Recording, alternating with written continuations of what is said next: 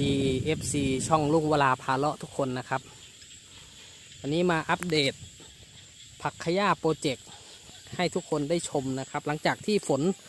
ตกมาอย่างหนักเลยสองสามวันที่ผ่านมานะครับสระของเรานี่ประมาณ 3 เมตรนะครับ ตอนนี้น้ำเต็มสระใหญ่เลยครับ เต็มพักแรกเลยนะครับ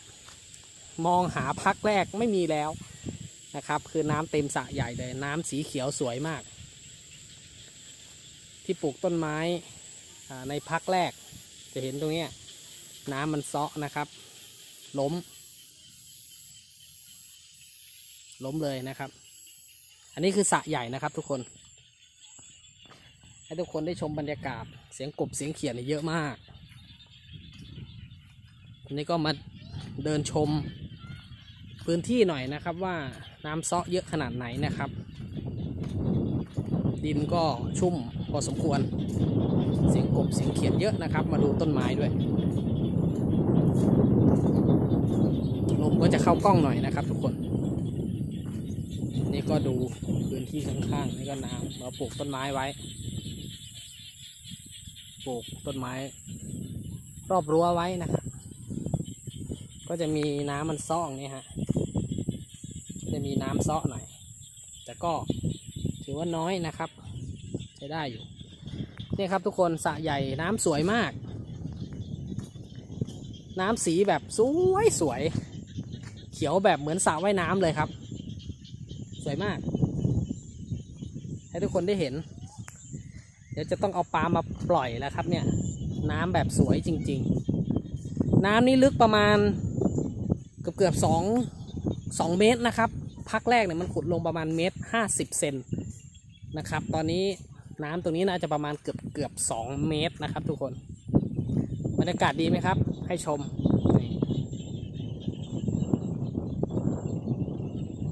สวยไหมครับทุกคน ถ้าสวยก็คอมเมนต์บอกกันหน่อยว่าสวยนะครับ ให้กำลังใจกันหน่อยครับ ลมดีมาก ก็ต้องปล่อยพื้นที่ตรงนี้ให้มันรับน้ำฝนเซตน้ำฝนสักเซต ไส้เดือนที่ไหนอะให้มันเซตน้ำฝนสักหนึ่งปีนะครับ ทุกคนสักหนึ่งสักหนึ่งฝนนะครับ ดินตรงคันตรงเนี้ยกว้างๆนี่ก็จะก่อสร้างอะไรได้แล้วเนี่ยน้ำสวยมาก สีสวยมากๆ ต้องบอกว่าน้ำสวยมากๆจริง ๆ นะครับ ทุกคน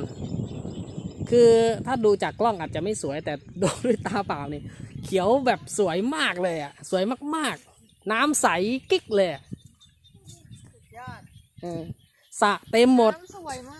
กอันนี้คือถนนนะครับ เป็นถนนตรงนี้ก็เดี๋ยวให้ดินเซตเลยก็ก่อสร้างได้สบายๆเลยตรงนี้นะครับ กว้าง ตอนนี้ดินตรงเนี้ยมันก็อุ้มน้ำพอสมควรเพราะว่าฝนตกมาเยอะ ดูตรงนี้ครับทุกคน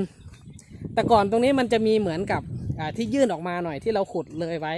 อันนี้น้ำน่าจะเกือบประมาณ 3 เมตรเลยครับ ตรงนี้ ตรงนี้ต้องบอกว่าสระ สระเล็กเนี่ยลึกมาก ทุกคนลึกมากๆ เพราะแต่ก่อนนะมันจะมีที่ตรงนี้ไว้อ่ามันจะถ้าถ้าถ้าดูภาพก่อนนะ ลองย้อนกลับไปดู EP ก่อนที่เราถ่ายให้ดูตรงนี้มันจะมีพักที่เป็นเหมือนอ่าครึ่องวงกลมนะครับ จะให้เห็นตอนนี้น้ำท่วมขึ้นสูงนะฮะตรงนี้น้ำตรงนี้ลึก 3 เมตรนะครับ ทุกคน 3 เมตรแน่นอน ไม่ถึงก็เกือบถึงฮะ ไม่ถึงก็เกือบถึงตรงนี้สระเล็กเนี่ยสามเมตรแน่นอน แล้วคันไม่สูงด้วย ต่ำกว่าทุ่งนาอของคนข้างๆ พอสมควรนะครับ เดี๋ยวถ้ามีปลาเนี่ยลงมาบ่อนี้แน่นอน น้ำมันเซาะแรงครับทุกคนน้ำน่าจะไหลแรงพอสมควรเนี่ยฮะมันก็เกิดแบบนี้ขึ้นฮะไหลลงบ่อก็ไม่เป็นไรครับเป็นเรื่องปกติเนาะเป็นเรื่องปกติเลยอย่างเงี้ยฮะทุกคน มันเกิดแบบนี้ขึ้นเป็นเรื่องปกติ นะครับ แต่ถือว่าน้อยมาก ถ้าฝนตกแรงๆแบบนี้แต่น้ำสวยครับ สุดยอดมาก อันนี้น้ำสวย อันนี้เราก็ปลูกต้นไม้ไว้แบบกันน้ำซาะได้ในระดับหนึ่งเดี๋ยวต้นไม้ก็คงจะงาม อันนี้ครับทุกคนทุ่งนาครับ ปีนี้เราว่าจะปลูกข้าวกันน้ำเต็มแล้วเนี่ย ถ้าอีกสักสามสี่วันฝนไม่ตก ก็น่าจะน้ำตัวนี้ก็น่าจะลดนะครับลดลดลงหน่อยก็น่าจะแห้งได้ อันนี้เป็นทุ่งนานะครับ ไม่ใช่บ่อนะครับ ทุ่งนานะครับ ไม่ใช่บ่อส่วนพระอาทิตย์นี่นี่ตรงนี้ อันนี้ทุ่งนานะครับอืมบรรยากาศเป็นไงครับ เสียงกบเสียงเขียด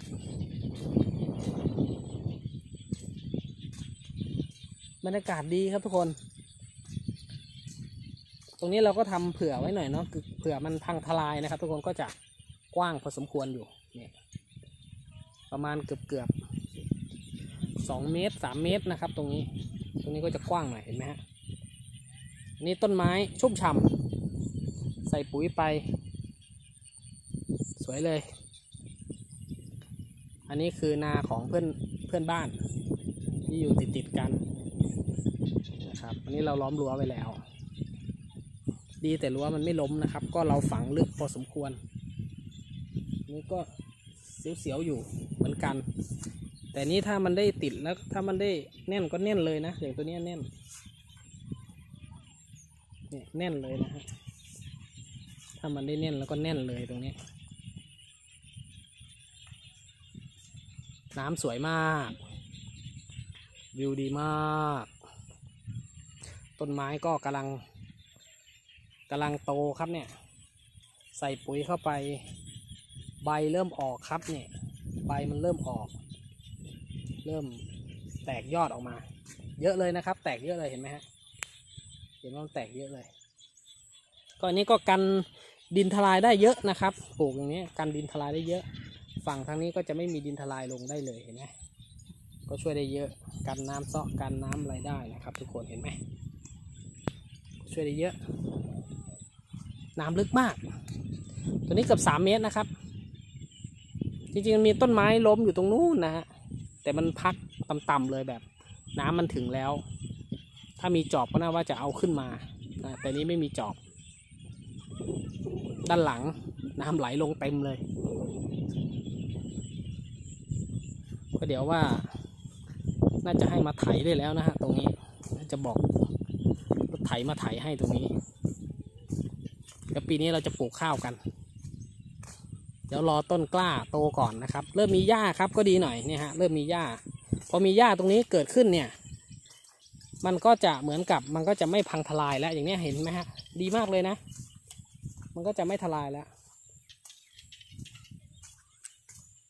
มีกบมีเขียดด้วยครับทุกคน อันนี้คือเป็นนานะตรงนี้ไม่ใช่บ่อน้ำนะครับ เป็นนาแต่ฝนตกแรงเมื่อคืนนี้ฝนตกแรงโอ้นะมีเขียดเยอะแยะเลยฮะ บรรยากาศดีมาก อันนี้ไม่ลึกนะครับ น่าจะแค่ท่วม นู่นนะเขียดโดดละ โอ้ ดีครับทุกคน เอาไว้เป็นที่มาอยู่พักผ่อนหย่อนใจ อันนี้ก็เป็นทุ่งนาครับทุกคน นี่ ทุ่งนา เดี๋ยวจะให้เขาดันตรงนี้หน่อย ตรงนี้มันไม่มีที่เดินเลยเดี๋ยวจะให้ดันมาหน่อย นี่ก็เป็นทุ่งนา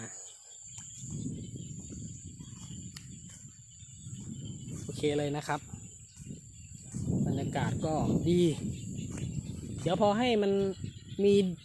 หญ้าเกิดขึ้น หน่อยมันก็น่าจะไม่พังทลายแล้วแล้วจะปล่อยให้หญ้าเกิดเต็มที่เลยแล้วค่อยตัดเอานะครับ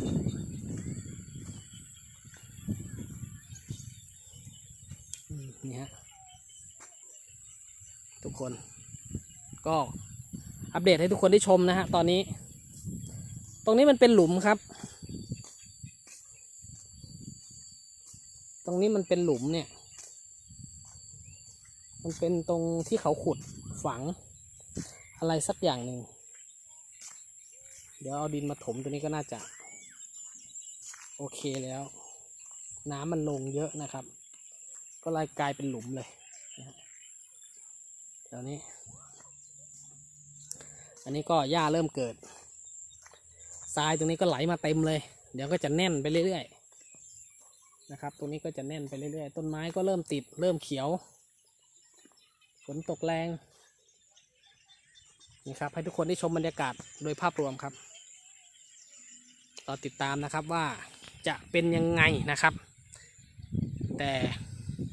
น้ำสวยมากบอกได้เลยว่าน้ำสวยมากนี่ครับทุกคนบรรยากาศยอด ครชอบคลิปนี้ก็ฝากกดติดตามกดไลค์กดแชร์ทางช่องลุงเวลาพาเลาะนะครับวันนี้ก็อัปเดตให้ทุกคนได้ชมนะครับผักขยาโปรเจกต์เมืองสกลนคร เดี๋ยวช่วงทำนาเดี๋ยวเราจะถ่ายคลิปให้ทุกคนได้ดูด้วย ไปแล้วครับ สวัสดีครับ